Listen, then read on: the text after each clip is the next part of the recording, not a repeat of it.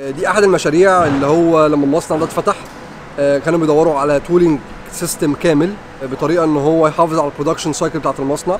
وعملنا المشروع ده وكان من أنجح المشاريع اللي إحنا عملنا بيها introduction لل electrical industry في الإمارات آه، سنة 2014 والحمد لله النهارده طول ما أنا بزور المصنع ببقى مبسوط إن أنا في مشروع عملته.